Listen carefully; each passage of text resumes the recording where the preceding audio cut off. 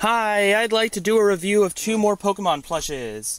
Here is one of them. It is a Poliwhirl plush. I found this while I was at a garage sale. Um, I'll just put him back here. Um, he definitely cannot stand up on his own because look how tiny his legs are. Um, I would have liked a Poliwag plush. It was just, hey, there's a Pokemon plush. Uh, better get it because it's there.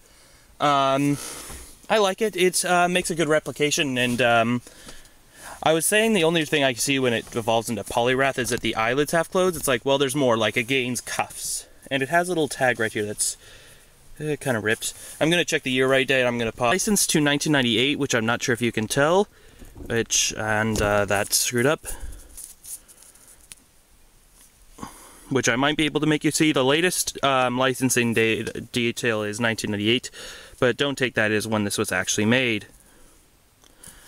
Um, because it could have had the bigger tag, and I like leaving tags on my stuff. Um, so yeah, Poliwhirl.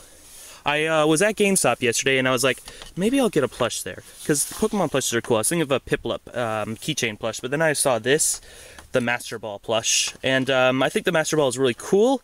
Um, I, it doesn't roll around like you'd think it would. It stays still on like a tabletop if you want it as a display, which your Mind Giratina. Yeah, my Platinum game, which you probably don't know I have Platinum and I played it a lot. Um, I caught Giratina using this. And um, you catch Giratina in Origin form. And it says Tomy on it. And um, on the big tag it says 2017, so I assume this is like really new because it's made for next year. This probably will be uploaded in like 2017 when I actually do upload it, but I'm making this in December of 2016 when I actually film it. Um, there isn't anything else to say. Um, thanks for watching. Um, there's going to be another review coming up. I was at the Outlet Goodwill like two months ago at the time of filming this, and I found this yellow bird plush. That's cool. I have a red bird, um, like big one that's filled with beans, but this is cool too. It's not electronic, or wait, yes it is. Which, but the battery is dead but I feel like it had battery left when I got it. So, and I'm not going to replace the battery because you have to like take the, you have to like rip these open to change the batteries and uh, then sew them back together or something. So yeah, that's not to be done. Um, but look at this cool stuff. By the sound, you can probably tell what it is, right? Some Thomas Wooden trains. Isn't that so cool? And look at this! The Sodor Railway Repair was at the Goodwill. Unfortunately, none of its like um, tenders were there. Like you know that was filled with the coal and this wasn't coal, it was like gravel, um, like rocks and stuff. But um, it's still cool. Um, it has like this covering his eyes, and he has yellow glasses.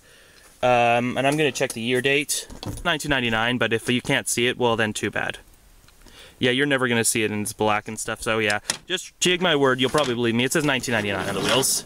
Um, this Toby right here is well from 2003 as up to the Mattel era was that year always. It has a name on the bottom, which I believe the Sodor Railway Repair does not. Yet it doesn't have a name.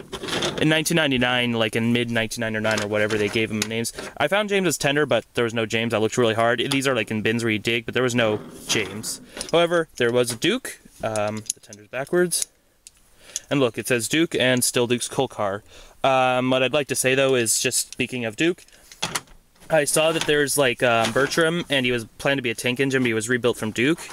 One thing I'm gonna say is, why did you repainted Duke? But why did you have to leave the tender on if you want to be a tank engine? I mean, it's not like the tender actually helps the model trains. At least I don't think it does. It's just there for show. So they could have just done this and called it Bertram.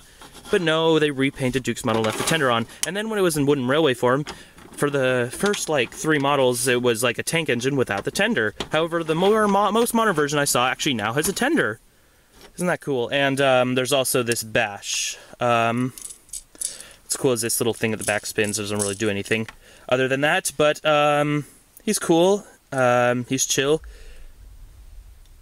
If you heard that, that was my sister. Um, and he connects James's tender, which... Um, so yeah, that'll be all for this review. Next one coming up.